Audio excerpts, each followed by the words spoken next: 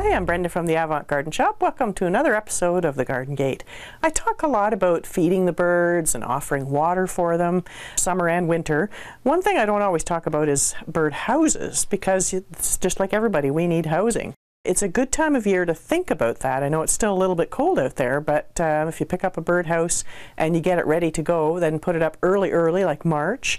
Um, it's it's good because the birdhouse will weather a little bit, and the birds are more apt to start using it in the spring. If you put it up too late, then the birds will have found a place to nest already. Uh, so we carry a few different ones. This is a really nice line. It's from um, Animal House Creations in Lakefield, so it's all locally made. You can open it up to clean it, keep an eye on things. It has brass screws, so it's really well made.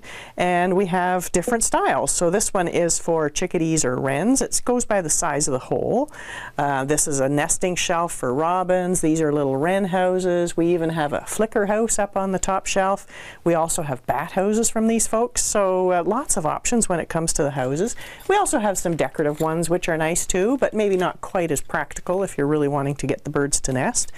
People sometimes have trouble with um, squirrels eating the holes open, so we have these little metal uh, guards that fit over the openings that help to stop the squirrels from chewing them. And this is actually a guard here as well to stop cats and um, say predator animals or other birds from getting in to get the birds, uh, to get the baby birds. So there's lots of great features on these houses and it's a perfect time to come and pick one up and uh, get one installed at your property.